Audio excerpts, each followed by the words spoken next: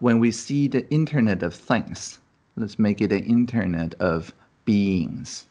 When we see virtual reality, let's make it a shared reality. When we see machine learning, let's make it collaborative learning. When we see user experience, let's make it about human experience. And whenever we hear that the singularity is near, let us always remember the plurality here.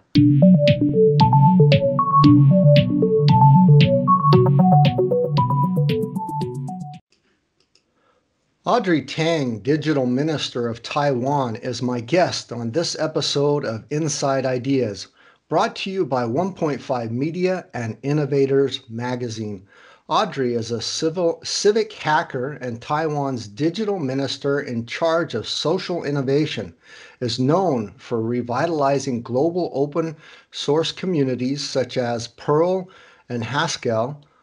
Audrey served on Taiwan National Development Council Open Data Committee and K through 12 Curriculum Committee and, and led the country's first e-rulemaking project prior to joining the cabinet.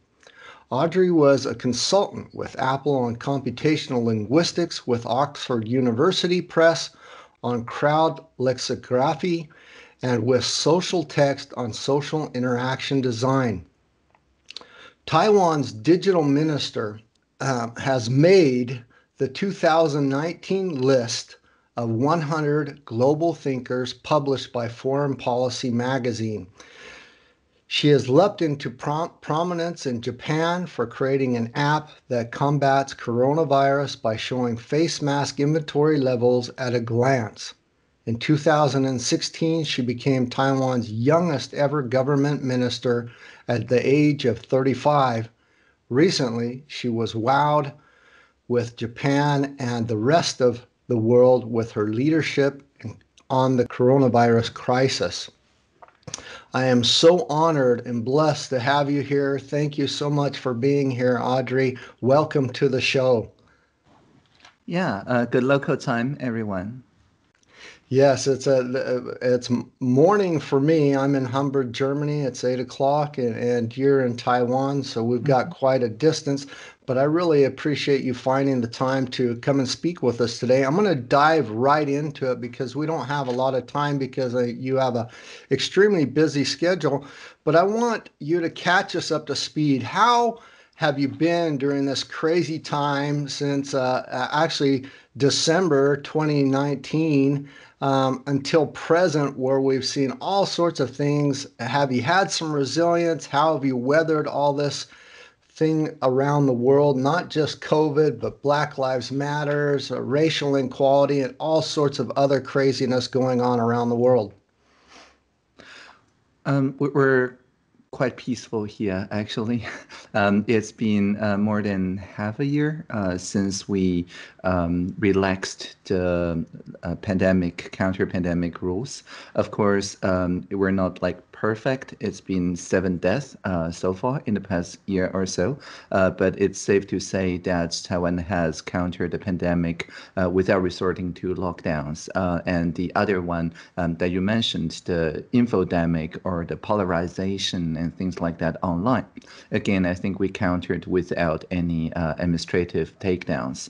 Um, and so I wouldn't say we're, we're completely peaceful uh, here. Um, we do still wear a mask, keep social distance, wash our hands until vaccination. Uh, but otherwise, uh, the people don't panic. Uh, there was no chaos uh, as we did actually in 2003 when SARS, uh, that's the precursor to COVID-19, has hit Taiwan. That was pretty chaotic, and everyone above 30 years old remembers that. and in 2004, we resorted to, you know, put in the legislative and the technological institutions to make sure when SARS comes again, we do not um, panic, and that paid this time. So there, there's a, a, bunch of things already there that, and, and, that's why I'm so glad you're on the shows because I want to d- dive right into those. In 2003 with SARS and also precursor MERS, and um, there was all sorts of things that kind of rocked uh, Taiwan and, and, Asia in general.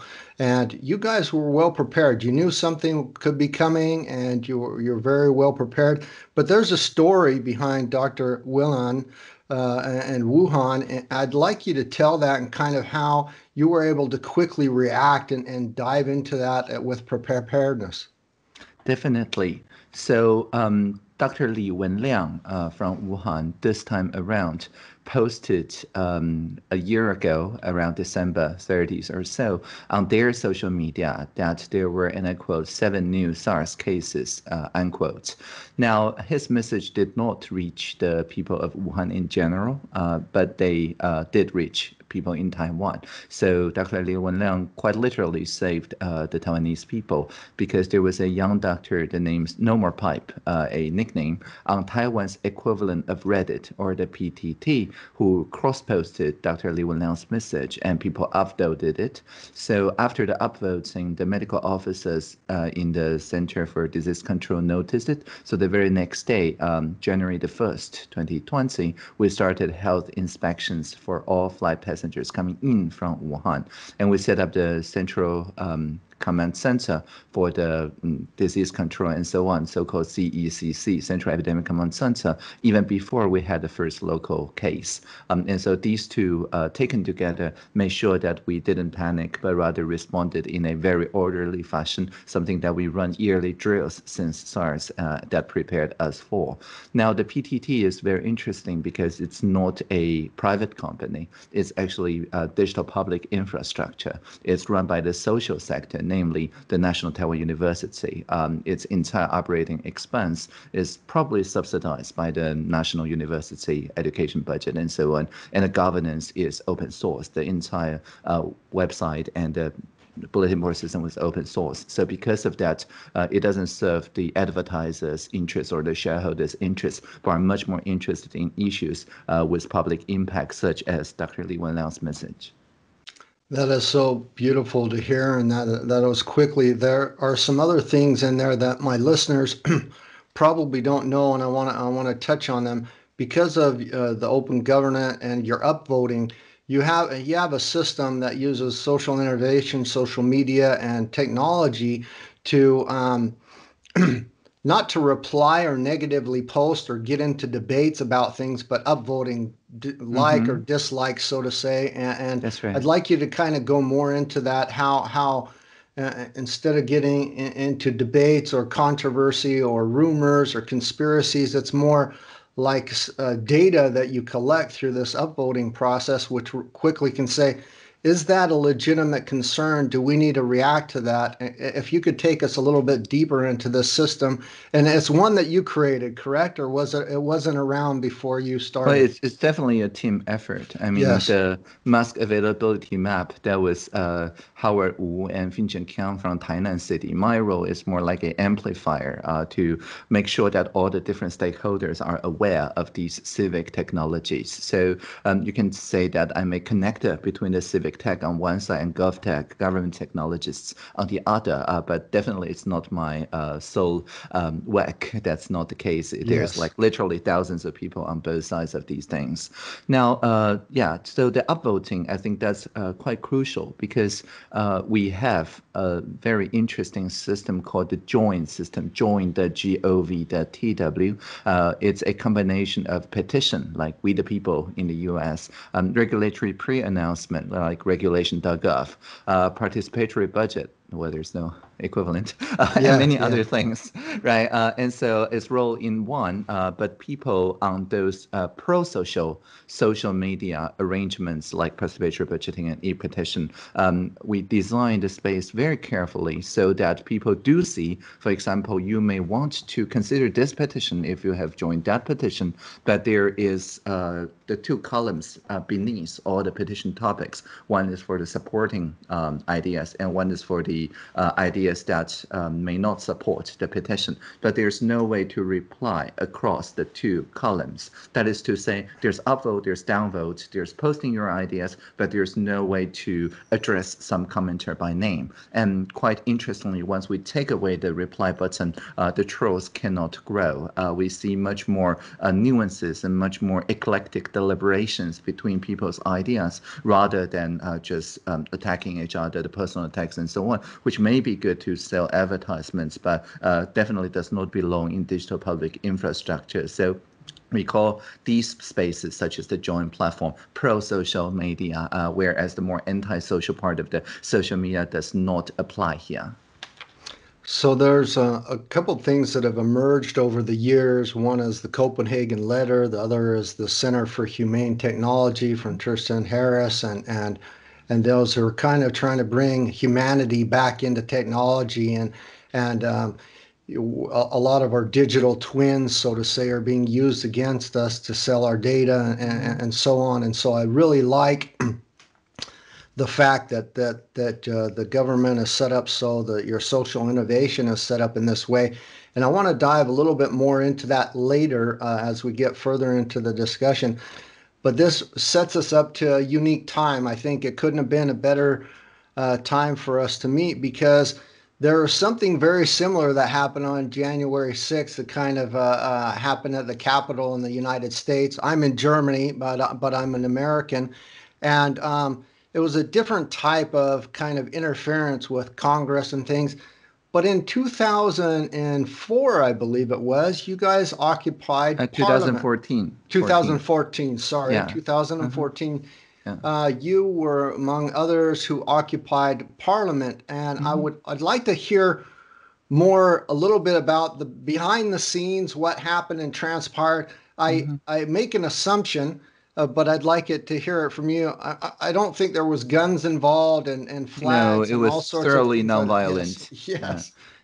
Um, yeah, the um, Sunflower Movement in 2014 March uh, was three weeks uh, of peaceful demonstration um, in the occupied parliament, but demonstration is uh, in a sense of a demo, not as a protest, uh, as uh, showing how it is actually possible to deliberate a quite complicated trade agreement the CSSTA, or Cross-Strait Service and Trade Agreement with Beijing, uh, while the parliament were refusing to deliberate it substantially. Uh, people from more than 20 NGOs each uh, deliberated uh, their particular aspect. It could be about human rights. It could be about labor conditions, small and medium enterprises, environmental impact, cybersecurity, uh, and, and so on on the CSSTA. And we managed to get rough consensus uh, after three weeks of live, live streamed um, deliberation with half a million people on the street and many more online. And those were ratified by the head of the parliament. So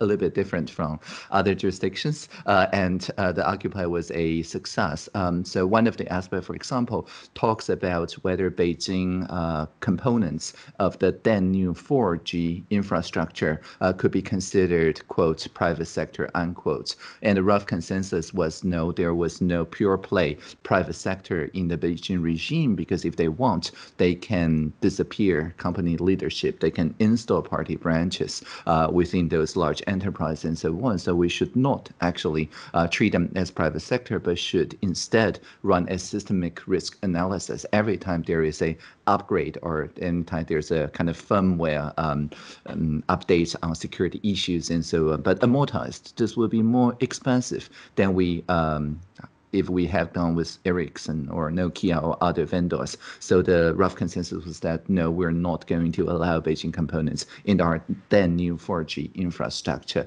So that's just one out of maybe 100 topics deliberated on the street. But you can see in the past couple of years, many other jurisdictions are now having the same conversation around 5G this time, but essentially the same arguments. And so, uh, did, for that three week period, did you actually sleep in in the parliament? Were you guys there mm-hmm. 24 mm-hmm. 7 for that mm-hmm. whole time? Mm-hmm. And, and, oh, wow. Okay. And so now you were kind of seen as someone who was bringing in Cat 5 cables and keeping the mm-hmm. internet and other, other things. How, how, mm-hmm. did that lead to the request for you to be mm-hmm. part of the ministerium and, yeah. and help out?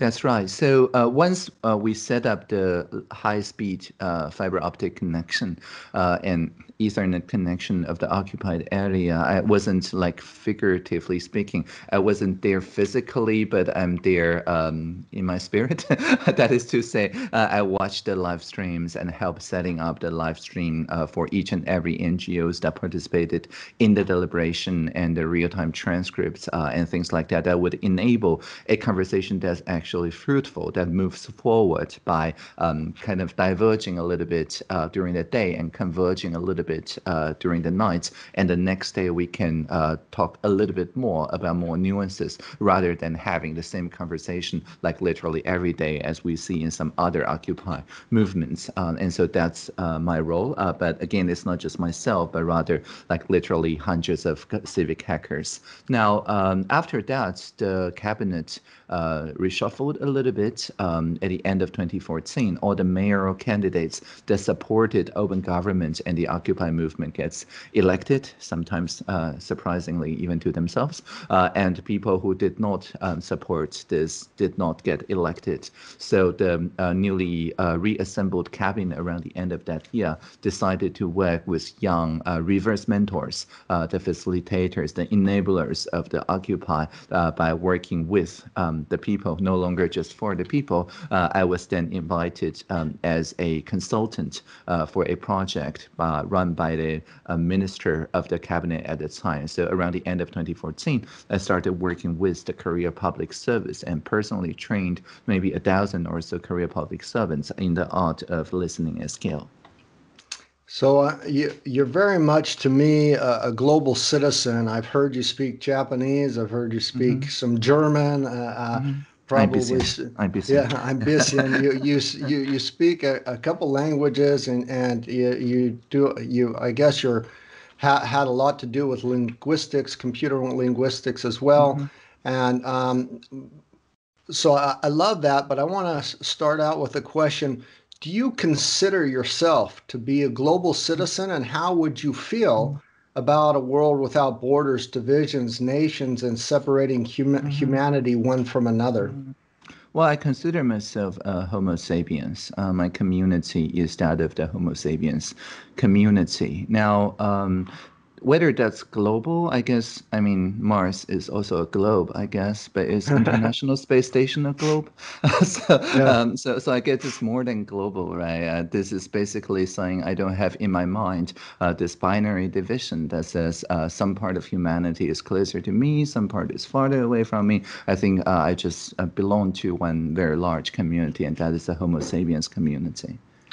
I love that. Uh, Taiwan is really 23.5 million people, and their broadband is a human right. You know, mm-hmm. everybody's got access to, to, to broadband, high mm-hmm. speed transportation, and these mm-hmm. social innovations and digital services to enable them to not only to, to have have a government that's open and transparent, but to have a voice, a seat at the table what more can you kind of tell us on how that formed? Was that there before you got in as a minister? And how have you kind of pushed to make this open data charter, open by default, and these type of things to push those forward in Taiwan? Mm-hmm. Yeah, when I was a young child, there was already this idea that public telephone communication uh, is a human right. Uh, and after that, internet is human rights. But in the past four years, we've upgraded to say broadband is a human right, meaning this is not just about downloading speed, but also uplink uh, as well. Because without the uplink, you can't really voice your concerns. You can only um, download what other people have to say, like radio and television. So anywhere in Taiwan, when you're guaranteed to have 10 megabits per second both ways actually at just um, 16 US dollars per month, uh, unlimited data. Uh, otherwise, it's my fault, like personally. Um, and so we've upgraded on previous promises and made it much more symmetric. The other contribution uh, that I made along with people from the K 12 uh, basic education curriculum is that instead of media literacy or data literacy, uh, we now teach uh, media competence uh, or data competence and digital competence. the difference is literacy is when you're a consumer of information and competence is when you are a producer. Now, the primary schoolers are perfectly capable of setting up like airboxes, the inexpensive measurements uh, devices of air quality and share it to a distributed ledger. Uh, and if you do so, uh, previously unteachable concepts such as GDPR, data stewardship, joint controllership, and so on become that much easier uh, to teach and to show because people, um, like very young people, are now also data stewards and uh, they can also participate in the fact checking efforts of our presidential deliberations and platform and debates um, and learn how to balance the different viewpoints, how to check your sources, how to be factual and things like that. Uh, again, as media producers and not just media listeners and consumers and so on. Um, and so I would say open data and so on uh, grows out of this civic engagement um, initiatives that uh, see even very young people uh, not yet at the age of voting still uh, very fruitful as contributors to the governance. And once they are of the age to vote, they understand democracy not just as uploading three bits of information per person every four years, which is called voting, by the way, uh, but uh, actually can participate uh, in uh, petitions, sandbox application, presidential hackathon, participatory budgeting, and so on, which are much more continuous day-to-day democracy. You, you've touched on several things in there, and I need you to go even deeper and explain them for my listeners. So, mm-hmm. every year there's a presidential hackathon. You mm-hmm. you've addressed that. There's mm-hmm. also a, a, sandbox and and the mm-hmm. fork type of governance mm-hmm. zero. Uh, as well as airbox and so there's there's a couple things but I would like you to go deeper and explain a little bit more about those well, in particular, when uh, uh, I know enough to be dangerous about your airbox system, which is air, mm-hmm. air quality sensors and, and right. data and monitoring. Mm-hmm. Uh, but I believe there's a close tie to that and COVID, uh, airborne and uh, mm-hmm. pollution, yes. And also um, in Taiwan, China, and many places in Asia. It's common not just to wear masks for pandemics, but also because of air pollution. And so uh, there's a, a, tradition of mask wearing. If you could address that, I would really appreciate it. Definitely. So um, as you can see, uh, we have a mask in our pockets all the time, uh, and and that's even before the pandemic. Because uh, as you said exactly, uh, we see mask wearing as something that protects our own mouth, our own face from our own hands that's a very different uh, from the messages that we see across other jurisdictions where the masks are built as something that I don't know, protect the elderly, uh, protect the vulnerable people and frontline workers, uh, that protects others. But in our case, um, the masks are there to protect ourselves. Um, and so, very interestingly, though, those uh, appeal to rational self-interest actually made it easier to remind each other to wear a mask. Because uh, if you are not wearing a mask, and I say, "Hey, why are you not protecting yourself?" Uh, that's very natural for me to say. But if I say, uh, "Please wear a mask to show respect to me," that's very very difficult to say unless, of course, we're very good friends, right? Um, and so, uh, so quite paradoxically, appealing to rational self-interest rather than any, you know, Confucianism or things like that made it easier for people to communicate to each other the importance of wearing masks. Now, um, during the pandemic, of course, uh, we very quickly found out that the medical grade masks, um, lightweight enough to be worn uh, the entire day, uh, that is going to be crucial. Um, and the people um, really clamored for the government to ramp up the production because at the beginning of the pandemic, we only had less than 2 million medical mask production facility per day, uh, but that's um, less than one tenth of the total population. But by now, uh, we've increased it more than tenfold, and everyone can go to a nearby pharmacy or convenience store using their national health card, uh, which covers pretty much everyone, it's universal, and get 10 medical masks per two weeks um, at extremely affordable prices. Uh, and so I think this makes a lot of sense uh, to make sure that people who develop any symptoms, for example, can get the masks uh, at just, uh, I think it's 14 US cents uh, per mask uh, and put it on and go to a nearby clinic uh, for a full diagnosis. Um, and that's even cheaper than going to a uh, drive-through test in other jurisdictions. And so that may sure that the local clinics and pharmacies uh, retain their trust. In fact, is even more trustworthy because they participate uh, with the local people to ensure a universal mask uh, wearing culture, uh, not just top down, but rather people who remind themselves. And that in turn reduced our R value of the COVID 19 around uh, April to be under one, meaning that there's no local uh, spread ever after. We do have like from time to time local transmissions for one person or two people, uh, but after that it doesn't tend to spread because more than three quarter of people are wearing masks and washing their hands. So, uh, can you also address the your presidential hackathon, mm-hmm. the Sandbox, sure. and Fork Gov mm-hmm. Zero?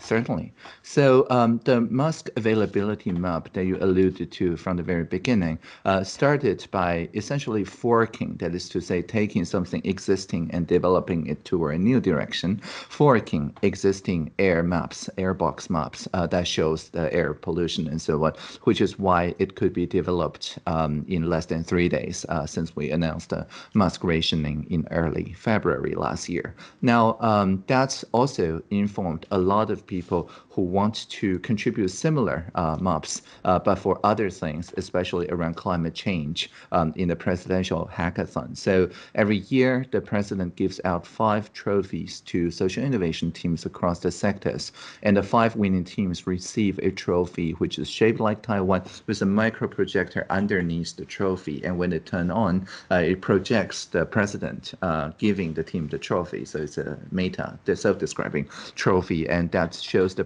presidential promise to uh, basically deliver whatever they did in the past three months um, into the national scale deployment uh, as soon as possible, um, usually within the first year after they won the presidential hackathon. So, for example, there's a um, actually not just one but two maps uh, in last year's presidential hackathon winning teams. One shows a map uh, of the arable um, not really arable, plantable lands uh, that's uh, currently owned by the government but does not have any uh, activities. And it's using augmented reality enable people who plan to plant together to take care of those trees together, kind of an internet of trees, uh, and make sure that people who can volunteer their time into planting and so on can work with the municipal government to get those uh, places for land um, trees planted. Now there's also another map that shows all the areas uh, near you that offers free drinking water. Uh, and it's like Pokemon Go. Uh, it's a thoroughly gamified uh, pro-social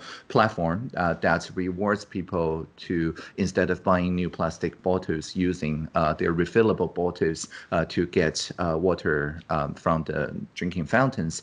and it can also uh, publish uh, like from a notification um, for the places where people are likely to suffer from extreme heat, like heat damage and things like that, to remind them to drink water um, in a timely fashion. Uh, and once you complete like a mission of 50 uh, check-in every day, uh, you form a new habit, and that could also be redeemed uh, to get more like specialty drinks from the local um, arable um, lands producers and so on. So everything is connected together is a way to uh, build more like a solidarity economy uh, across the board uh, to reduce plastic and also to counter climate change and so on. So for all these cases that won the trophy, we make sure that within the next 12 months, we uh, take it and scale it into national scale policies.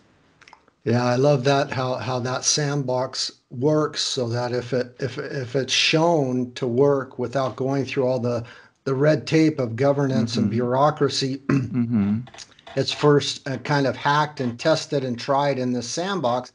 And if the data and it's proven to be effective, mm-hmm. then you bypass all that. It's implemented, mm-hmm. and, and I really love that.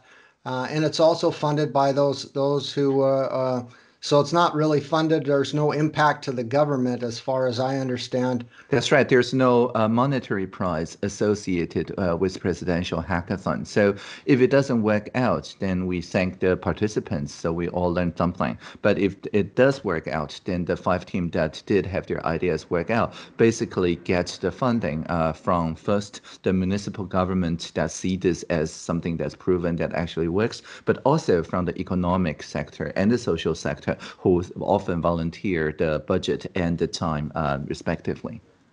So in 2018, the World Economic Forum listed Taiwan as one of the four global innovators in, mm-hmm. in the world. Um, but even before that, Taiwan has been um, um, singled out time and time again for being innovative, using social innovation for doing things in a very progressive and different manner. Most recently, like I mentioned earlier, Japan um, uh, is really looking towards you, honoring you not only for for different different things on your progressiveness. This brings me to kind of a mm, semi-controversial question, and that is, what in the hell is wrong with the WHO? They mm-hmm. are not allowing Taiwan uh, to be part uh, of uh, showing their examples that they work, and I be- and I believe they feel that there's some kind of a tie to China. And so I know in March of 2020 there was some online interviews of, of the WHO and and and Taiwan that uh, they were wondering why don't you look to some of our innovations, our data, what we've experienced, how it's working for us. And uh, for some reason, that I don't know if it was a minister, but he pretended like the telephone call hung up. I'm sure you're aware of that. Mm-hmm, yes. Then mm-hmm. again in November of 2020, uh, the same thing. It's like uh, like they don't seeing that the, the proof is really there in what you're practicing, that it's a better model. And so my my question is, is there any hope that that you'll eventually get into the WHO? Mm-hmm or that uh, are you going to kind of hack that system and bypass those so that other countries say, even if the WHO doesn't let Taiwan in, we're going to follow some of their success stories and implement those regardless? Mm-hmm, mm-hmm.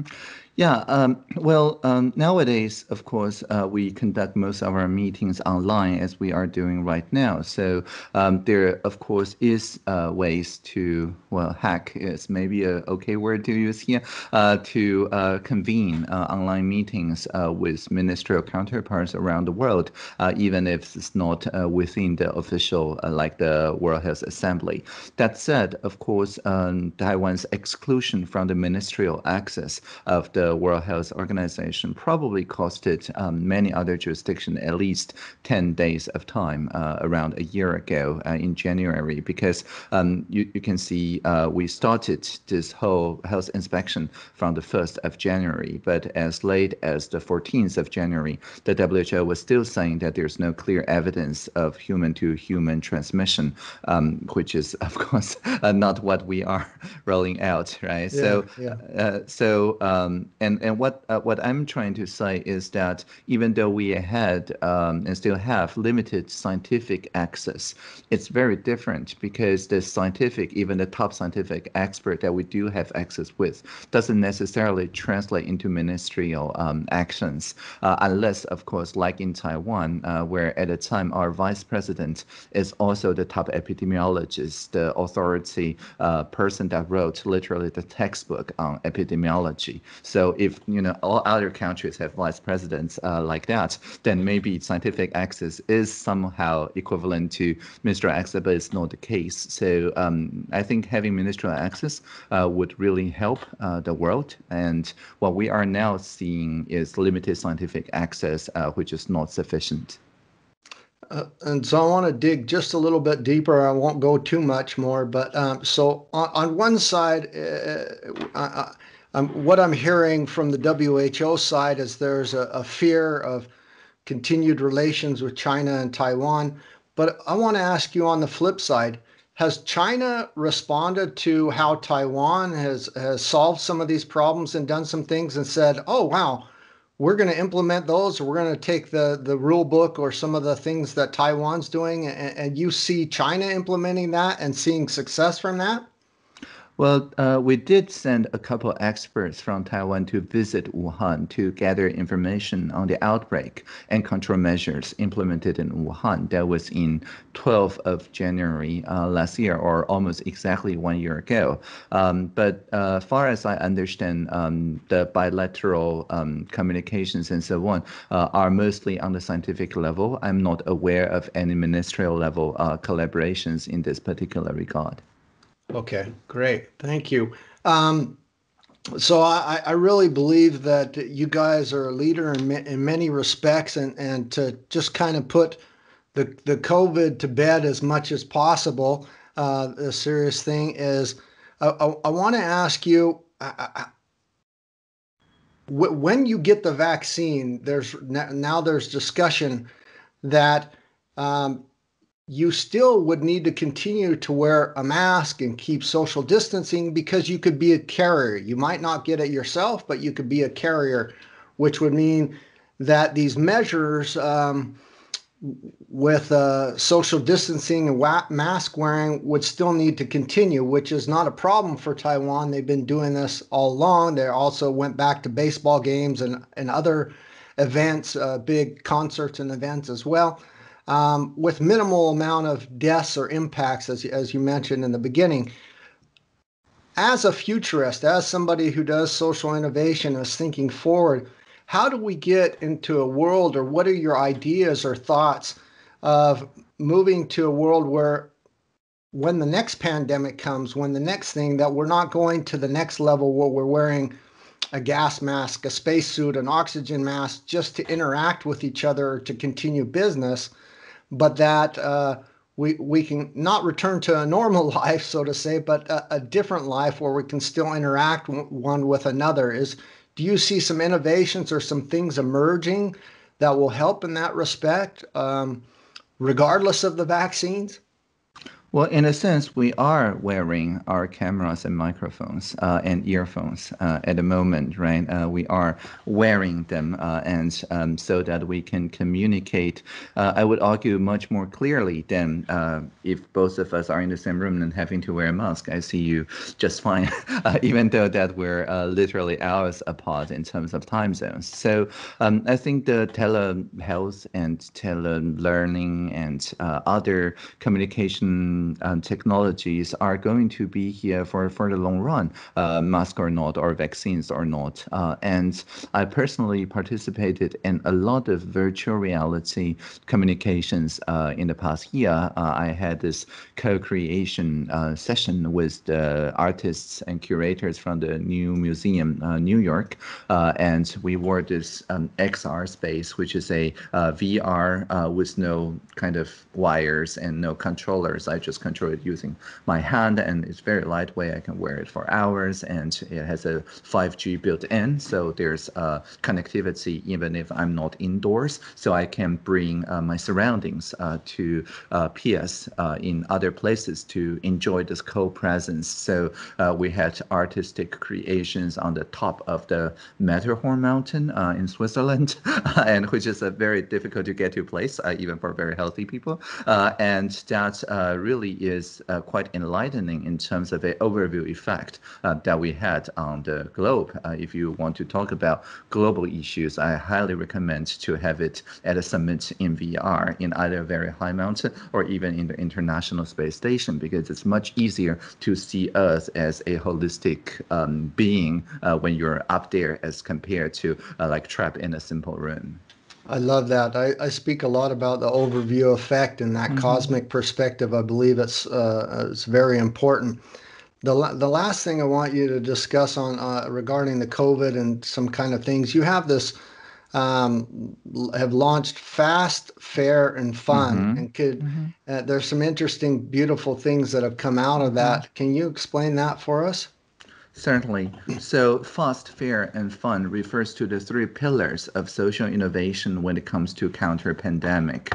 Uh, the fast part I already alluded to. It's this um, advanced deployment of not just flight inspections, but also the Central Epidemic Command Center. Now the CECC is a uh, life press conference uh, arrangement with all the different ministries reporting to the health minister, uh, and the health minister has been uh, holding um, a lot of live uh, press conferences that respond not only to the media uh, who can ask any question and the uh, press conference only ends when they run out of questions, but also from people calling in uh, to like the toll-free number 1922. Uh, and anyone can call in and get the scientific explanation. And even like last uh, April, there was a young boy who called saying, hey, you're rationing out masks, but all my classmates who are boys have those blue masks but all I get is pink mask and I don't want to wear it to school. And the very next day, uh, all the medical officers in the CECC press conference were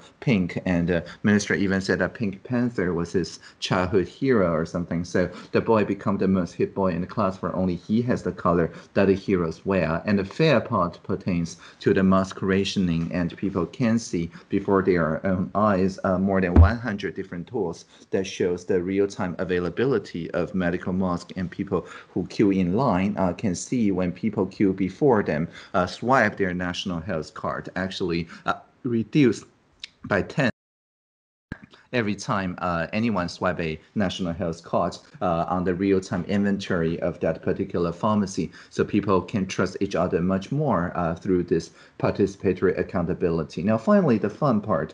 Um, the CECC has a spokes dog. The name is uh, Zong Chai. It's a Shiba Inu. And uh, we explain social distancing uh, in terms of when you're indoor, please keep three Shiba Inus away. And when you're outdoor, keep two Shiba Inus away and uh, remember to uh, wear a mask. But why would you wear a mask? Because the mask protects your own face against your own unwashed hands. So that's a very cute dog putting their hands to their mouth. Um, and so what I'm trying to say here is that once the clarifications, the scientific uh, measures have a uh, more viral quality to it through humor and cute spoke dogs, uh, it tends to make sure that the conspiracy theories R value will be under one, which means that it would not go viral, which is how we counter the pandemic and in the infodemic with no takedown or lockdowns.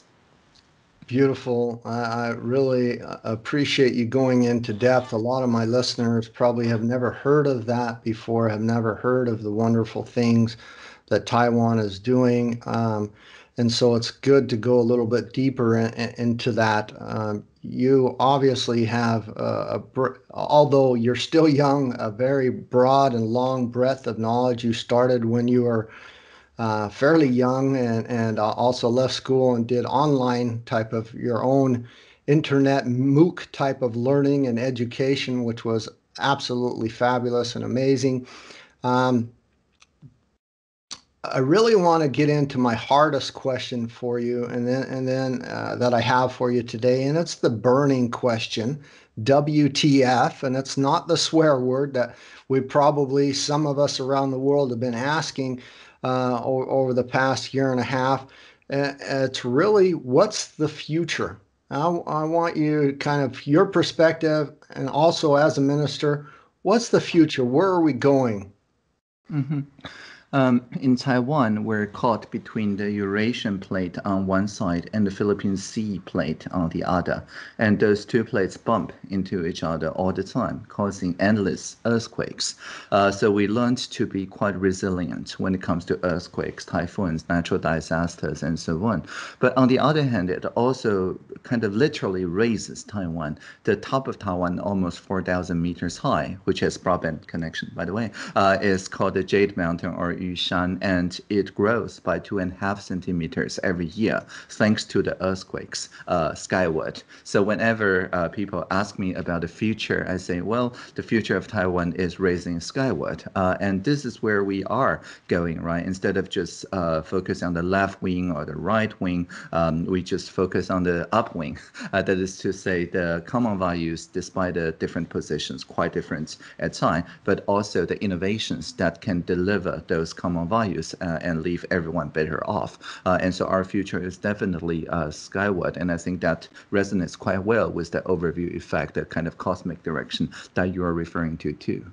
That top of the world feeling. And I definitely sense that when I meet people from Taiwan, when I speak to you, when I've heard you in the past, it's this very positive, optimistic outlook of the future. And, and and really being an island, um, uh, you you are probably one of the first hit from earthquakes and typhoons and hurricanes mm-hmm. and all sorts of climate climate mm-hmm. catastrophes and crisis and uh, you have to figure out how to have that resilience it's beyond sustainability you actually need to say well mm-hmm. uh, we could be the most sustainable place in the world and tomorrow a hurricane could wipe out all that sustainability you need some resilience so That's that right. the day after or the hour after that hurricane or earthquake that you have internet that you have uh, electricity food mm-hmm. water all those mm-hmm. essential mm-hmm. uh, services to communicate mm-hmm. with the outside world and so i love mm-hmm. that you talk about resilience is so vital it's measured in minutes by the way the minutes after the earthquake yeah minutes after the earthquake is mm-hmm. absolutely and, and that's also was seen with your response to the, the COVID and, and uh, you know, minutes to hours and days you were already implementing thing because of upvoting. And so I, I love that. Uh, that tells me that you have a strong, resilient, and also very futuristic uh, infrastructure that, that, that you've built to make sure to prevent those things. And that kind of takes us into um, a little bit more of your social innovation of mm-hmm. Taiwan. So mm-hmm. uh, you're you're trying to prevent dystopian narratives and stories for Taiwan, mm-hmm. um, and or digital dictatorship.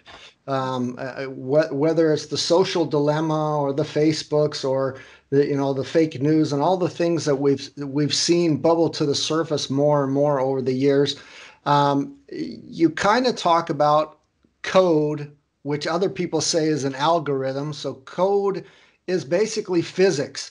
And um, you also say that, and I've heard this when, when you spoke to Yuval Noah Harari, that you really cannot break natural laws. You know these the the laws of physics and um, a code that is encrypted with biases in it is a bad algorithm or a bad code. And so what are the some of the things that are you doing moving forward to get not the opposite of dystopia into your codes into this long-term vision of the future is part of that mm-hmm. the the the upvoting or or is it much deeper is there a lot more involved in in you know keeping it mm-hmm. unbiased keeping the the fake news and those things out of it.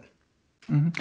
Yeah, code uh, is malleable to coders, of course, uh, but to non-coders, code could be as uh, non-malleable as the laws of physics, right? It determines what can happen, what cannot happen, what's transparent, what's opaque, things like that.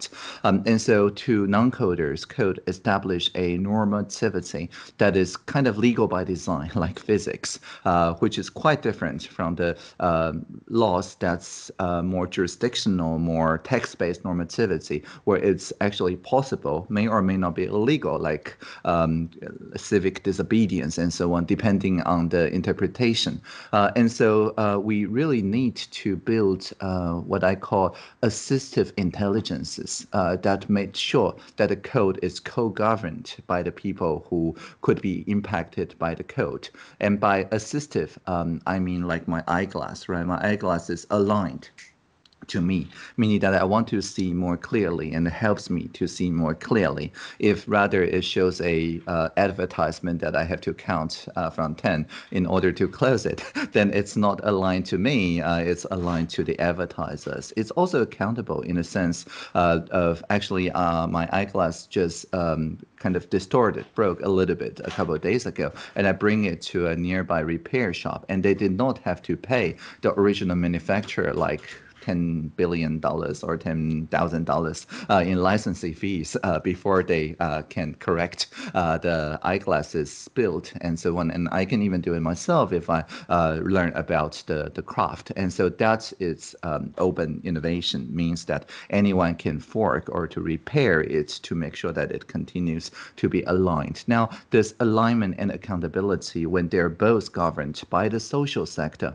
then I call it a people public private partnership where the people sets, like in the PTT, the Taiwanese uh, equivalent to Reddit. In the PTT's case, people co-set the normativity, the norms, like, for example, um, disclosing all the um, money spent on the advertisements uh, during our elections, the campaign donation and expenditure. And the public sector ratifies and amplifies that norm by essentially providing a structured open data for everyone to see the campaign donation and expenditure.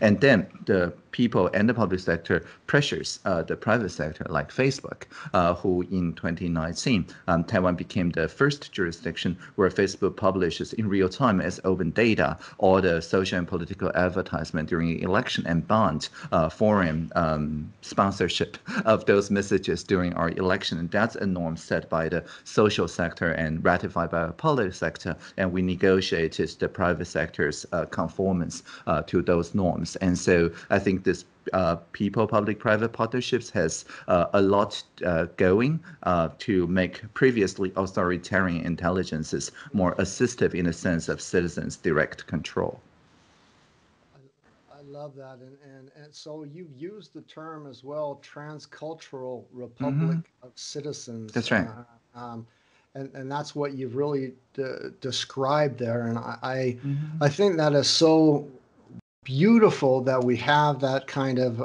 openness or that you do have that because you're setting an example uh, a sandbox for the world so to say of what works and and, and it's a, it's a bigger test bed that has mm-hmm. proven on uh, 23 and a half million people and it's real it's really working so I, I love the way you describe that um, I want to move into uh, another area. It's similar to the burning question, but it's um, more whether it's AI or this um, um, singularity.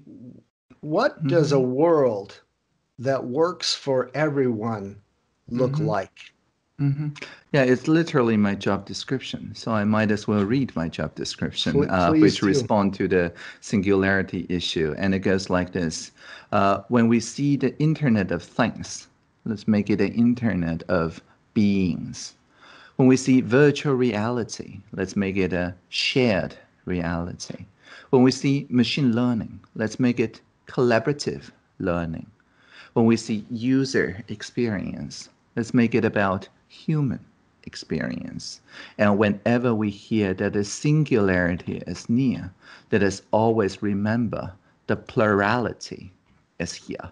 So the plurality, uh, as you alluded to in the Transcultural Republic of Citizens, says that um, it's quite natural to have 17 actually. I think it's the same badge as you're, you're wearing. Yes, the yes. same pin uh, and uh, more than 17 really uh, different values. Uh, but they all work uh, with each other if we can listen at skill. If we cannot listen at skill then naturally people see it as more zero sum um, competitions where only one vision get to dominate and that's the singularity worldview. But if we can listen at skill then all the 17 values can work with one another. And so uh, we can realize the transcultural republic uh, with all the citizens. Uh, and this part of my pin says Taiwan can help, by the way. and so I love it. Uh, yeah, so it's global goals and Taiwan can help. I love it. It's absolutely beautiful. So I've seen you wear your SDG shirt. I've seen you wear that SDG pin before. I've heard you speak about the SDGs. Uh, we, have actually spoken uh, virtually at some of the conference, same conferences o- over the years together. Um, one of them was Odyssey Connect. I think was the last one that we spoke together. You were uh, you tell tele videoed in, and uh, it was a beautiful, uh, a beautiful talk. I absolutely loved it. But I, I, want you to to tell us a little bit more because you actually go real deep in the SDGs. You go into the targets and the indicators, mm-hmm. uh, especially with uh, number 17, but but with the others. Uh, to me, that tells me that you also feel that the United Nations 17 Sustainable Development Goals are a goal, a roadmap, a plan for the future to get us to tw- a different 2030 and I'd like to know you as minister, but also as Taiwan, and what your thoughts and feelings are about the SDGs and how you're implementing them, how people should see them and view them. I'd love to hear that. Mm-hmm.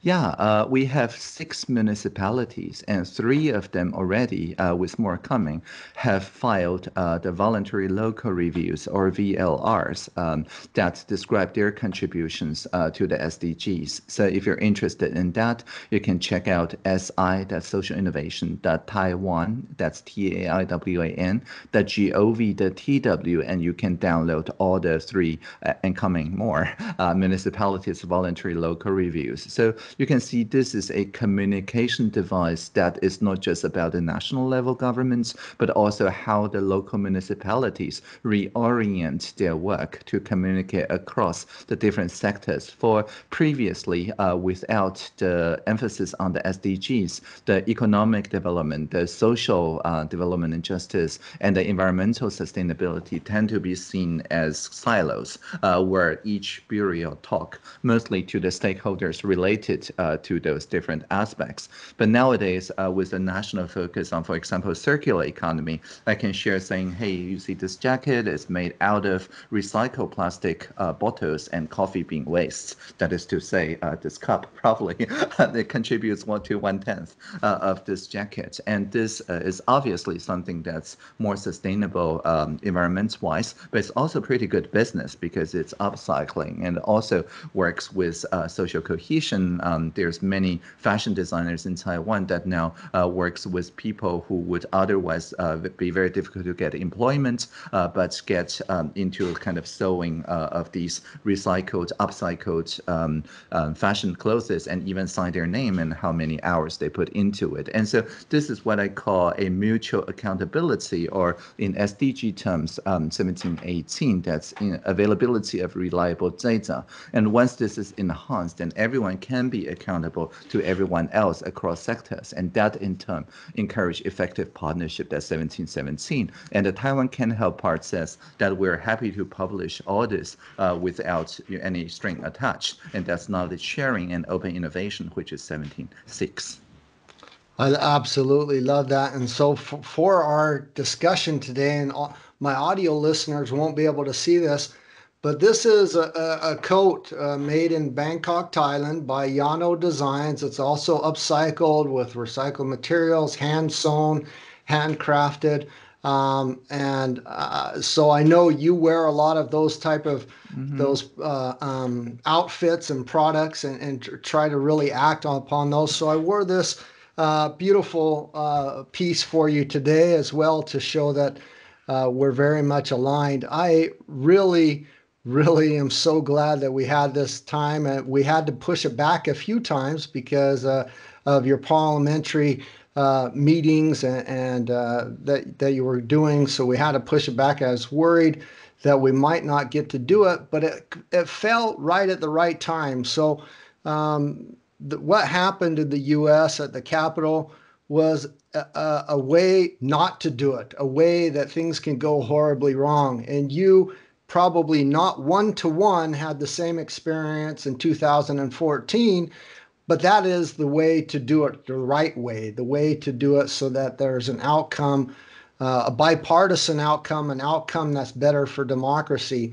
um, and, I want to touch upon that before before we go mm-hmm. a little bit about democracy because the maps the the borders the global citizenry that we hear and talk about is much different in the digital world, the digital divide, sometimes we say, because, uh, and we're even talking about, you know, we need some digital delegates, some digital ambassadors, and, uh, uh and you're a prime example of that because our digital world is is forming new boundaries, new maps that are not not the ones that we're used to, and so I, I, want to, to kind of ask what is the future, this digital world, this digital democracy that we see for the future, and one that's positive for us all, that kind of gets rid of uh, the bad and negative things that we're seeing going on around the world and have seen with Brexit and, and the Trump vote as well.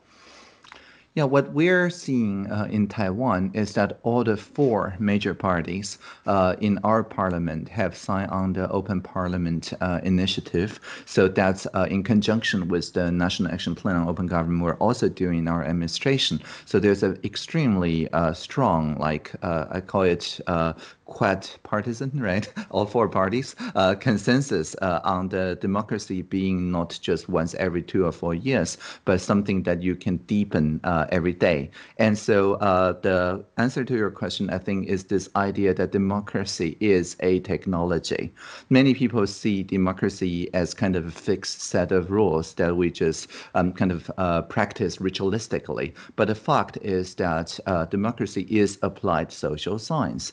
we can apply new voting methods, right? Uh, the ranked choices, and nowadays in presidential hackathon for the past couple of years, we use quadratic voting. A lot of uh, inventions that has proven its merit on, for example, the Ethereum community uh, can be actually taken into our day-to-day governance. So I would say that so-called on-chain governance, right? Digital governance is one of the prototypes uh, that we can see the democracy itself uh, being uh, forked uh, by a lot of different innovators and merged uh, into management of rough consensus and running code, something that the internet governance has always been demonstrating. But now people are seeing it's not just about worldwide communication, which was the original issue internet was set to com uh, complete, but rather also about, as we talk about today, pandemic management, infodemic management, climate change, and pretty much anything in the sustainable development goals that will require this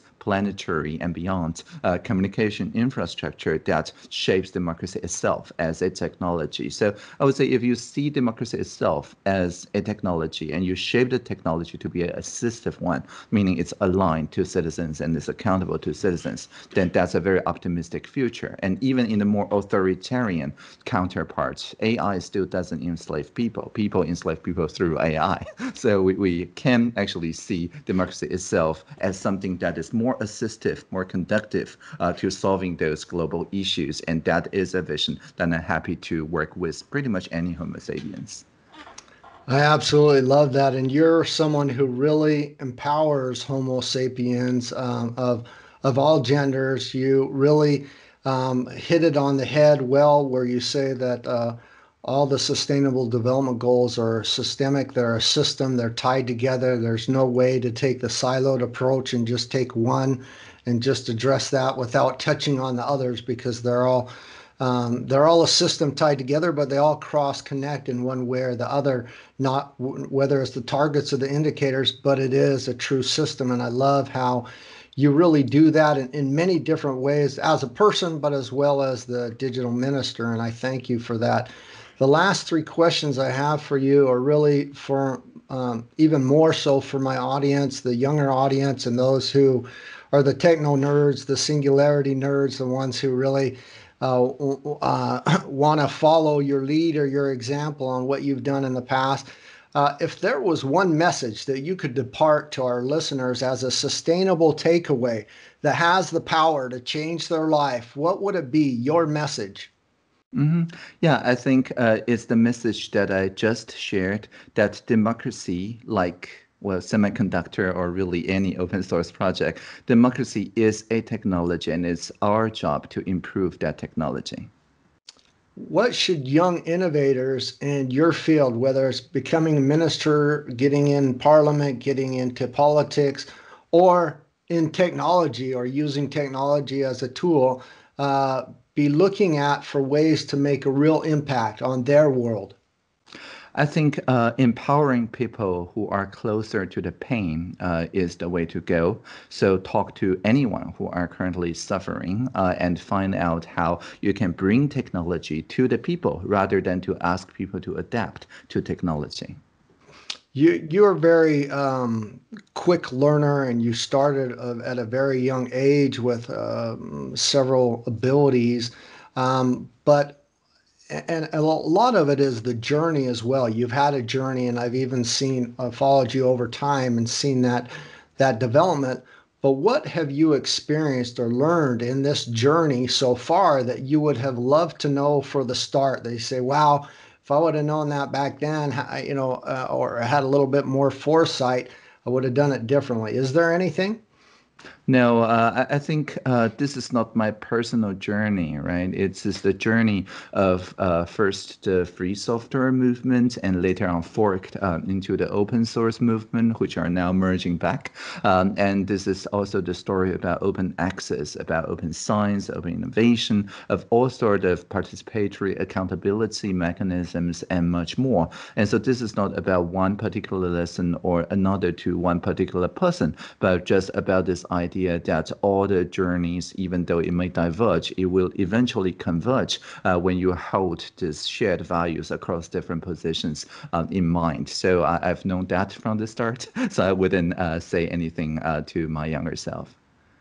Thank you so much, Audrey. It's been a sheer pleasure. That's all my questions. If there's anything else you'd like to add, this is the time. Otherwise, I wish you a wonderful evening and I hope we can see each other very soon again and in person or at an event. I'd love to have uh, see and speak to you again. Yeah, definitely. And my uh, parting message is, as always, uh, live long and prosper. Live long and prosper. Thank you so much, Audrey. Bye bye. Thank you. Bye.